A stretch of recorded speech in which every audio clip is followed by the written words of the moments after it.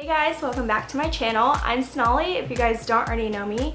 And today I'm to be showing you guys the importance of cleaning your eyebrows. It is so important, especially when you're trying to grow out your eyebrows over the summer like I am. It's been two months since I've gotten my eyebrows done, which is a record for me because I usually go once a week or every other week.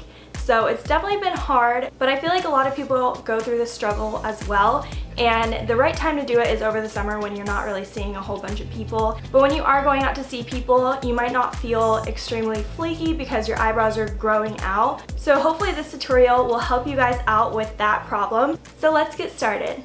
There is no right order to do your makeup in. It's just whatever feels comfortable to you. So usually for me, I do like to do my eyes before I do the whole face. I'm going to be taking my Anastasia Brow Wiz and filling in my eyebrows. It is currently July something and I have not gotten my eyebrows done since like May 3rd. If you guys remember, I think it was like during Vlogmas, I went to a lady here in Roswell area and she messed up my eyebrows so bad and I was so pissed. You guys should really check out that vlog because my rant's kind of funny because I was like actually angry about it and I still am. Like it is still a problem.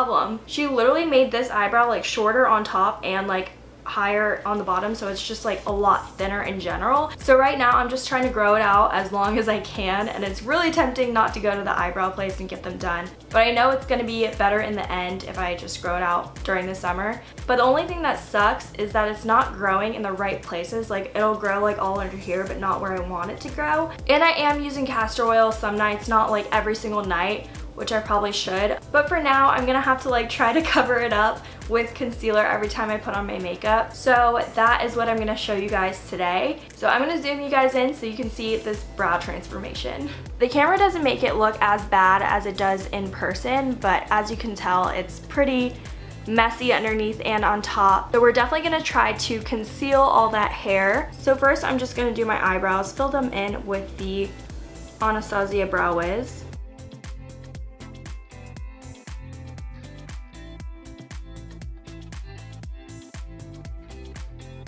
My problem is that I always overdraw them and I really don't like that look, but sometimes it's really hard to like just rub off all your eyebrows and start over, especially when you're crunched on time.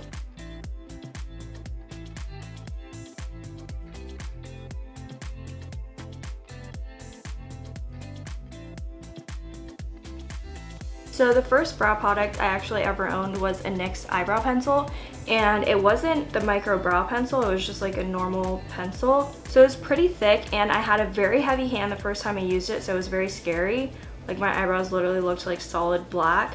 And the biggest thing that you should always remember is to have a light hand and just do like light strokes and not literally just color them in because that's what's gonna make them look really, really bad.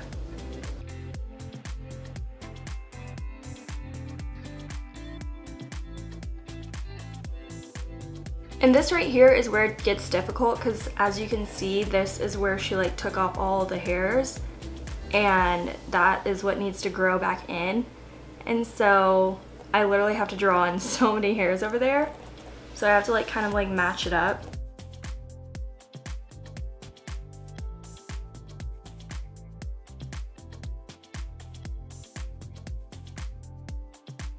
And then always remember to brush it out because you don't want it to be looking like you drew them on. You want it to look super natural.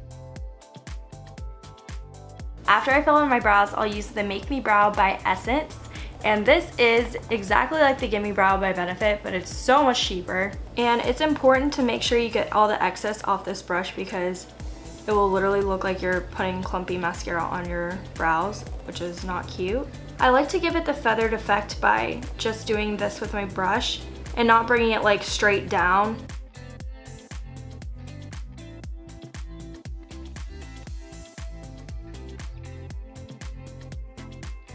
So that makes it look like your brows are just a little bit thicker. So to conceal, I'm going to be taking my Tarte Shape Tape. I'm actually gonna use this as eyeshadow primer too. So I'm just gonna put it directly on my eyelid and kind of bring it up as close to the brow as you can. Try not to put an extreme amount because it is going to be annoying to blend out. First I'm going to be taking my beauty blender and blending it out onto my lid and then we can get into the brow.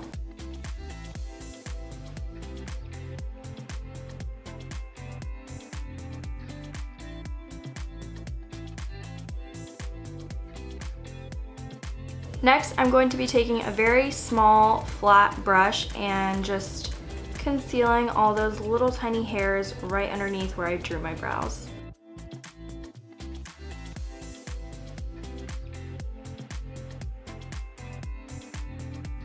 And as you can tell, it's already looking so much cleaner.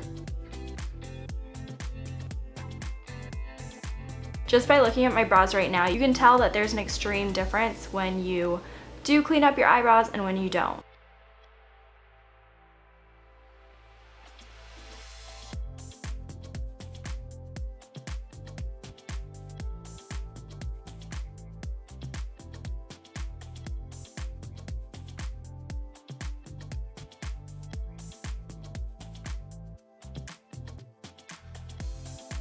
So look at my brows now. They look so much better and this is why you definitely need to take the time to clean up your eyebrows with some concealer. I hope this video helped you guys out and now I hope you guys know how important it is to clean up them eyebrows. So I will see you guys all in my next video. Bye guys!